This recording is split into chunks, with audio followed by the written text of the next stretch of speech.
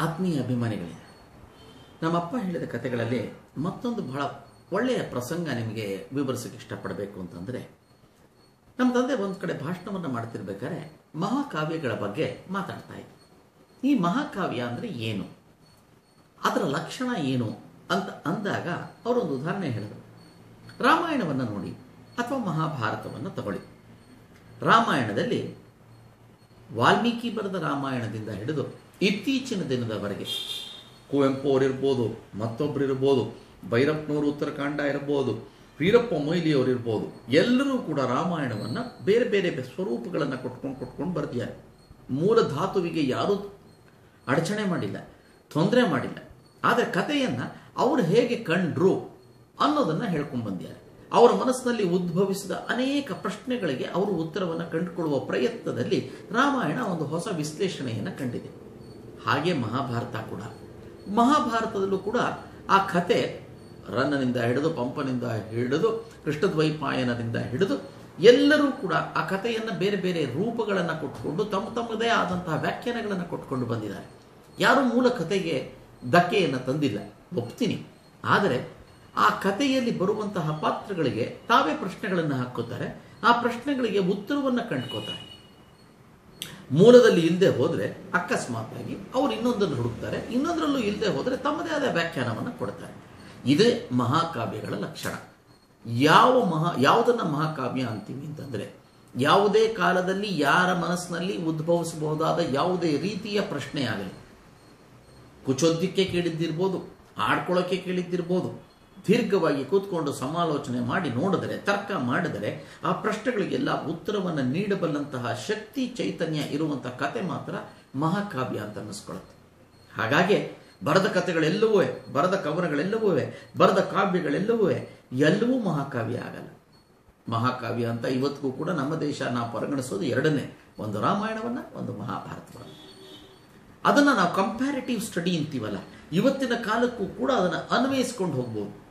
ಈಗ ಅಂತ ಒಂದು ಪ್ರಸಂಗ ಯಾವ್ದಾರ ನಿಮ್ಗೆ ನೆನಪಿಗೆ ಬರುತ್ತಾ ಅಂತ ನಾನು ಕೇಳಿದೆ. ಅವ್ರು ಹೇಳಿದ್ರು, ದುರ್ಯೋಧನನ ಕಥೆಯನ್ನು ತಗೋದು. ಇಲ್ಲಿ ದುರ್ಯೋಧನ ಕೆಟ್ಟ ಒಬ್ಬ ವಿಲನ್ ಅಂತೀವಿ.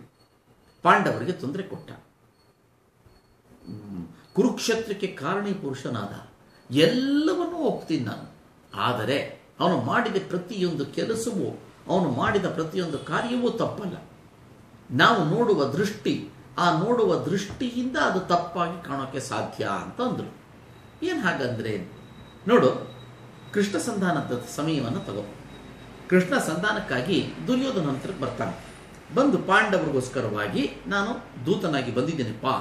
ಆ ದ್ಯೂತನಾಗಿ ಬಂದಿರುವಂಥವನು, ನಾನು ಪಾಂಡವರಿಗಾಗಿ ಅವರ, ಅವ್ರು ಹೇಳಿ ಏನು ಕಳಿಸಿದಾರೋ ಅದನ್ನು ನಿನ್ನ ಹತ್ರ ಹೇಳ್ತಾ ಇದ್ದೀನಿ. ಸಂಧಾನಕ್ಕೆ ಸಿದ್ಧವಾಗಿದೆಯಾ ನೀನು ಅಂತ ಕೇಳ್ತಾರೆ. ಸಂಧಾನ ಸಾಧ್ಯವಿಲ್ಲ.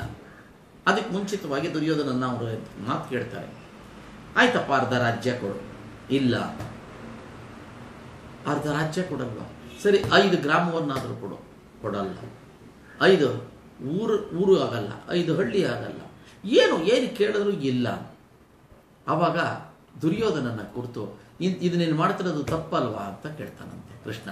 ಆ ಕೃಷ್ಣ ಕೇಳಿದಾಗ ದುರ್ಯೋಧನ ಅವನ್ನ ಒಂದಷ್ಟು ಪ್ರಶ್ನೆಗಳನ್ನ ಕೇಳ್ತಾನಂತೆ. ಏನೆಯ? ಪರಮಾತ್ಮ ನೀನು?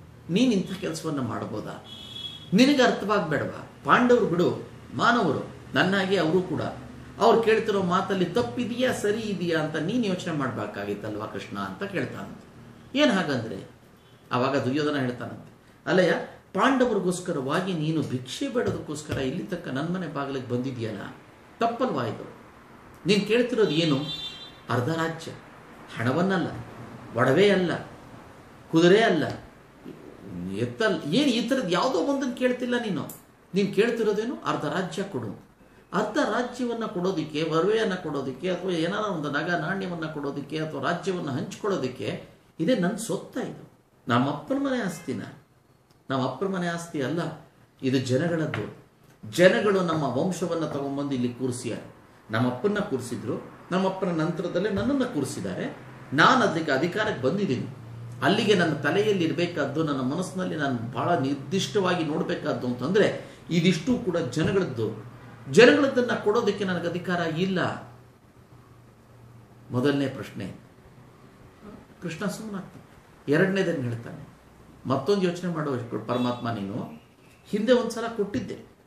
ದ್ರೋಣ, ಭೀಷ್ಮ, ಕೃಪಾ, ಇವರೆಲ್ಲರೂ ಹೇಳಿದ್ರು. ನಮ್ಮಪ್ಪ ಎಲ್ಲರೂ ಹೇಳ್ಕೊಂಡ್ಬಿಟ್ರು. ಹೇಳಿದ ತಕ್ಷಣ ಮಾಡಿದೆ? ಕೊಟ್ಟೆ. ಕೊಟ್ಟ ಆಮೇಲೆ ಜೂಜಾಟಕ್ಕೆ ಕರೆದೆ ಜೂಜ್ ಆಡಬಾರ್ದು ಅಂತ ಏನಿಲ್ಲ. ರಾಜರು ಎಲ್ಲರೂ ಕೂಡ ಎಲ್ಲರೂ ಜೂಜಾಡ್ಕೊಂಡೇ ಬಂದಿದ್ದೀವಿ. ಆ ಜೂಜನ್ನ ಆಡಬೇಕಾದ್ರೆ ನಮ್ಮ ಬುದ್ಧಿ ನಮ್ಮ ಕೈಯಲ್ಲಿರಬೇಕು. ಆ ಬುದ್ಧಿಯನ್ನು ಕೈಯಲ್ಲಿ ಇಟ್ಕೊಂಡು ನಾನು ಆಡೋದಕ್ಕೆ ಅಂತ ಜೂಜ್ಗೆ ಆಹ್ವಾನ ಕೊಟ್ಟೆ. ಬಂದರು, ರಾಜ್ಯವನ್ನೆಲ್ಲ ಕಳ್ಕೊಂಡ್ರು. ಮತ್ತೊಮ್ಮೆ ಕರೆದು ಕೊಟ್ವಿ. ಆವಾಗಲೂ ಕೂಡ ಮತ್ತೆ ಕರೆದೆ, ಆ ಸಲ ಏನು ಮಾಡಿದ್ರು ಬರೀ ರಾಜ್ಯ ಕಳ್ಕೊಳ್ಳಿಲ್ಲ. ಅಣ್ತಮ್ಮಂದನು ಕರೆದ, ಯುಧಿಷ್ಠಿರ, ತನ್ನ ಹೆಂಡತಿನೂ ಕೂಡ ಜೂಜಲ್ಲಿಟ್ಟು ಪಣದಲ್ಲಿ ಇಟ್ಟು ಸೋತ. ಅಂದರೆ ಏನಾಯಿತು? ರಾಜ್ಯ ಎರಡು ಸಲ ಕೈಗೆ ಬಂದಾಗಲೂ ಕೂಡ ಸೋತ. ಜೂಜ್ ಆಡಬಾರ್ದಾಗಿತ್ತು ಅನ್ನೋದೊಂದು ತಲೆಗೆ ಬರಲಿಲ್ಲ. ಅಥವಾ ನಾನು ಮೋಸ ಮಾಡ್ತಿದ್ದೀನ? ಆಯ್ತು, ಇರ್ಬೋದು. ಮೋಸನೇ ಇರ್ಬೋದು. ಜೂಜೇ ಮೋಸ. ಆ ಜೂಜಲ್ಲಿ ಮೋಸ ಏನು ಬಂತು? ಆದ್ದರಿಂದ ನನ್ನ ಮೋಸದ ಬಗ್ಗೆ ಯೋಚನೆ ಮಾಡಬೇಡ. ಅವನ ಬುದ್ಧಿ ಎಲ್ಲೋಗಿತ್ತು. ಆಡಬಾರ್ದಾಗಿತ್ತು ಅವನು ಜೂಜನ್ನು. ಅವನು ತಮ್ಮಂದ್ರನ್ನ ಇಡಬಾರ್ದಾಗಿತ್ತು. ತನ್ನ ಹೆಂಡತಿನ ಪಣಕ್ಕೆ ಒದಬಾರ್ದಾಗಿತ್ತು ತನ್ನ ರಾಜ್ಯವನ್ನು ಕಳ್ಕೋಬಾರ್ದಾಗಿತ್ತು. ಇದೆಲ್ಲಕ್ಕಿಂತ ಮುಖ್ಯವಾಗಿ ಮತ್ತೊಂದಿದೆ ಪರಮಾತ್ಮ ನಾನು ಇವತ್ತು ಅಕಸ್ಮಾತಾಗಿ ರಾಜ್ಯವನ್ನು ಅವ್ರ ಕೈಗೆ ಕೊಟ್ಟುಬಿಟ್ಟೆ ಜನಗಳನ್ನು ಮೀರಿಸಿ, ಜನಗಳ ಮಾತನ್ನು ಮೀರಿ ಅಥವಾ ಜನಗಳನ್ನೆಲ್ಲ ಒಪ್ಪಿಸಿ ನಾನು ರಾಜ್ಯವನ್ನು ಕೊಟ್ಟೆ. ನಾಳೆ ಮತ್ತೊಮ್ಮೆ ಅವ್ರ ಜೂಜಲ್ಲಿ ಕಳ್ಕೊಳ್ಳಲ್ಲ ಅನ್ನೋ ಗ್ಯಾರಂಟಿ ಏನು? ನನ್ನ ಹತ್ರ ಕಳ್ಕೊಂಡ್ರು, ಅದು ನನಗೆ ವಾಪಸ್ ಬಂತು. ಮತ್ತೆಲ್ಲೋ ಹೋಗಿ ಇನ್ನೆಲ್ಲೋ ಜೂಜಾಡ್ತಾ ಕೂತ್ಕೊಂಡು ಅದನ್ನು ಕಳ್ಕೊಂಡ್ರೆ? ಅಂದರೆ ಯಾವುದನ್ನು ನಾವು ಆರ್ಜಿಸಿರೋದಿಲ್ವೋ? ಯಾವುದನ್ನು ನಾವು ದುಡಿದು ಸಂಪಾದಿಸಿರುವುದಿಲ್ವೋ ಅದರ ಬೆಲೆ ನಮಗೆ ಗೊತ್ತಿರೋದಿಲ್ಲ. ಆ ಬೆಲೆ ನಮಗೆ ಗೊತ್ತಿಲ್ಲದೆ ಹೋದಾಗ ಬಹಳ ಬೇಗ ಕಳ್ಕೊಂಡ್ಬಿಡ್ತೀವಿ. ಆದ್ದರಿಂದ ಇದನ್ನು ನಾನು ಅವ್ರು ಕೊಡೋಕೆ ಸಿದ್ಧವಾಗಿಲ್ಲ. ಯಾಕಂದ್ರೆ ನಾನು ನಾಳೆ ನನ್ನ ಪ್ರಜೆಗಳಿಗೆ ನಾನು ಉತ್ತರ ಕೊಡಬೇಕಾಗತ್ತೆ. ಅವ್ರು ಕಳ್ಕೋತಾರೆ ಅಂತ ಗೊತ್ತಿತ್ತಲ್ಲ. ಎರಡು ಸಲ ಕಳ್ಕೊಂಡ್ರಲ್ಲ. ಮತ್ತ್ಯಾಕಯ್ಯ ಕೊಟ್ಟೆ ನೀನು ಅಂತ ಜನ ನನ್ನ ಕೇಳ್ತಾರೆ. ಆದ್ದರಿಂದ ನಾನು ಇದನ್ನು ಅವ್ರು ಕೊಡೋದಕ್ಕೆ ಸಿದ್ಧನಾಗಿಲ್ಲ. ಯುದ್ಧನ? ಯುದ್ಧ ಆಡಲಿ. ಕುರು ಕ್ಷತ್ರಿಯರ ಧರ್ಮವೇ ಯುದ್ಧ. ನಾನು ಇನ್ನೊಬ್ಬರ ಮೇಲೆ ಯುದ್ಧ ಮಾಡಿ ಇದನ್ನು ಗೆದ್ದಿದ್ದೀನಿ, ವಿಸ್ತರಿಸ್ಕೊಂಡು ಹೋಗಿದ್ದೀನಿ ನನ್ನ ರಾಜ್ಯವನ್ನ ಅವನು ಅಕಸ್ಮಾತಾಗಿ ವಿಸ್ತರಿಸ್ಕೊಂಡು ಹೋಗ್ತಾನೆ ಅಂತನೂ ಹಾಗಿದ್ರೆ ಬರಲಿ. ಯುದ್ಧದಲ್ಲಿ ಬೇಕಾದ್ರೆ ಸೋಲೋಣ. ಆದರೆ ದಾನವನ್ನು ಕೊಡೋಕೆ ಬ್ರಾಹ್ಮಣ ಅಲ್ಲ. ಅವನಿಗೆ ಹಿಂಗೆ ದಾನ ಕೊಡಲಿ. ಪೌರೋಹಿತ ಅಲ್ಲ ಅವನು. ಪುರರ ಹಿತವನ್ನು ನೋಡಿಕೊಂಡು ತನ್ನ ಬಾಳ್ವೆಯನ್ನು ನಡೆಸ್ಕೊಂಡು ಇದ್ದರೆ ಅದನ್ನು ದಾನ ಕೊಡ್ಬೋದು ಅವನಿಗೆ. ನಾನೇನಲ್ಲ, ನಾನು ಯಾತಕ್ಕೆ ದಾನ ಕೊಡಬೇಕು ಅವನಿಗೆ? ಆದ್ದರಿಂದ ದಾನವನ್ನು ಕೇಳೋದಕ್ಕೆ ಬರಬೇಡ. ಬೇಕಾದ್ರೆ ಯುದ್ಧಕ್ಕೆ ಆಹ್ವಾನ ಕೊಡ್ತೀಯಾ? ಕೊಡು. ಅನ್ನೋದು. ಈ ಮಾತನ್ನ ಕೇಳಿದಾಗ ನಿಜವಾಗ್ಲೂ ದುರ್ಯೋಧನ ಕೆಟ್ಟವನ ಒಳ್ಳೆಯವನ ಅಂತ ಚರ್ಚೆ ಮಾಡೋದಕ್ಕಿಂತ ನಮ್ಮ ಜನಗಳ ಬಗ್ಗೆ, ಸಾಮಾನ್ಯ ಜನಗಳ ಬಗ್ಗೆ ನಾವು ಪ್ರಜಾಪ್ರಭುತ್ವವನ್ನು ಹೊಂದಿರುವಂತಹ ರಾಷ್ಟ್ರಗಳು, ನಮ್ಮ ಅಧಿಕಾರಕ್ಕೆ ಅಂತ ನಾವು ಕರ್ಕೊಂಡೋಗಿ ಕೂರಿಸುವಂತಹ ನಾಯಕರುಗಳು ಈ ದುರ್ಯೋಧನರಾಗಬೇಕಲ್ವಾ? ಯುಧಿಷ್ಠನಾದ್ರೆ ಅಥವಾ ಇನ್ನೇನೋ ಆಯಿತು ಅಂತಂದರೆ, ಎಲ್ಲೋ ಹೋಗಿ ಬೇಡ್ತೀನಿ, ಎಲ್ಲೋ ಹೋಗಿ ಬೇಡಿದ್ದನ್ನು ತೊಗೊಂಡ್ಬಂದು ಇಟ್ಕೋತೀನಿ ಅಂತ ಅನ್ನೋ ಬದಲು, ಅಥವಾ ನಾನೆಲ್ಲೋ ಕೂತಿದ್ದಾಗ ನನಗೆ ಅದರ ಬೆಲೆಯೇ ಗೊತ್ತಿಲ್ಲದೆ ಹೋದರೆ, ನಾನು ಅಷ್ಟನ್ನು ಕಳ್ಕೊಂಡ್ಬಿಡ್ತೀನಿ ಬೇಗ. ನಾ ಜನಗಳ ನಂಬಿಕೆಯನ್ನು ಕಳಿತೀನಿ. ಜನಗಳ ಸೊತ್ತನ್ನು ನನಗೆ ಅವ್ರು ನಂಬಿಕೆ ಕೊಟ್ಟಾಗ ನಾನು ಅದಕ್ಕೆ ಮೋಸವನ್ನು ಮಾಡಿದಾಗತ್ತೆ ಅದರ ಬದಲು, ಇದು ನನಗೆ ಜನ ಕೊಟ್ಟಿರುವಂತಹ ಸ್ಥಾನ. ಈ ಸ್ಥಾನವನ್ನು ನಾನು ಉಳಿಸ್ಕೋಬೇಕು ಅಂತಂದರೆ ತನು ಮನ ಧನಗಳನ್ನು ನಾನು ಅದಕ್ಕೆ ಅರ್ಪಣೆ ಮಾಡಬೇಕು. ಈ ಅರ್ಪಣೆಯನ್ನು ಮಾಡಿ ಅದನ್ನು ಕಾವಲು ಕಾಯ್ತೀನಿ ಅನ್ನೋ ಒಂದು ದೃಷ್ಟಿಕೋನ ನಮ್ಮಲ್ಲಿ ಬೆಳಿಬೇಕು. ಅಂದರೆ ನಮ್ಮ ನಾಯಕರುಗಳಲ್ಲಿ ಬರಬೇಕು ಅಂತಂದರೆ ನನ್ನ ಪ್ರಕಾರವಾಗಿ ಪ್ರತಿಯೊಬ್ಬನೂ ಕೂಡ ದುರ್ಯೋಧನನಾಗಬೇಕು. ದುರ್ಯೋಧನನಾಗಿ ಜನ ನಮ್ಮನ್ನು ನಂಬಿರೋದನ್ನು ನಾವು ಉಳಿಸ್ಕೋಬೇಕು.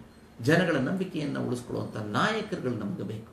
ಆದ್ದರಿಂದ ನಮಗೆ ಕೃಷ್ಣ ಪರಮಾತ್ಮ ಬೇಕಾ? ಯುಧಿಷ್ಠಿರ ಬೇಕಾ? ಅರ್ಜುನ ಬೇಕಾ? ಕೃಷ್ಣ ಏನಾರ ಹೇಳಿದ್ರೆ ಮಾತ್ರ ಮಾಡ್ತೀನಿ ಅನ್ನುವಂಥ ಅರ್ಜುನನ ಬದಲು ಯಾರು ಏನೇ ಹೇಳ್ರಯ್ಯ, ನಾನು ನನ್ನ ನಾಯ, ನನ್ನ ಅಧಿಕಾರದಲ್ಲಿರೋದನ್ನೆಲ್ಲ ಒಂದು ಇಂಚನ್ನು, ಒಂದು ಭೂಮಿಯನ್ನು ಕೊಡೋದಿಲ್ಲ, ಒಂದು ಒಡವೆಯನ್ನು ಕೊಡೋದಿಲ್ಲ, ಒಂದು ಸಣ್ಣ ಮನೆಯನ್ನು ಕೂಡ ಕೊಡೋದಿಲ್ಲ ಅನ್ನುವಂಥ ಒಂದು ಆತ್ಮಾಭಿಮಾನ ಇಟ್ಕೊಂಡು ಬದುಕುವಂಥ ಒಬ್ಬ ದುರ್ಯೋಧನ ಬೇಕಾ.